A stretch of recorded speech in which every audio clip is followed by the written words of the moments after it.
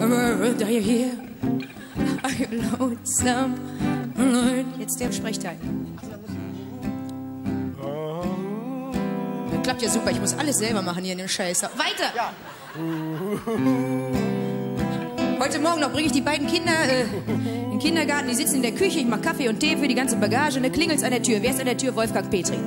Er hätte aus, ja, er hätte aus Versehen mit seinen Freundschaftsbändchen geduscht. Die werden jetzt alle so eng und täten weh. Ich sag, Wolfgang, setz dich in die Küche zu den Kindern, mach den Kaffee.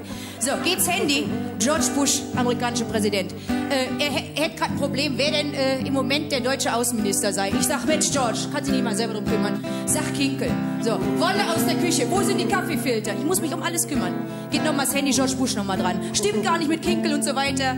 Riesiges diplomatisches Chaos und so weiter. Ich sag, ist mir doch egal, kümmere dich selber drum. Does your heart really say that I come back one day? Tell me, dear, tonight.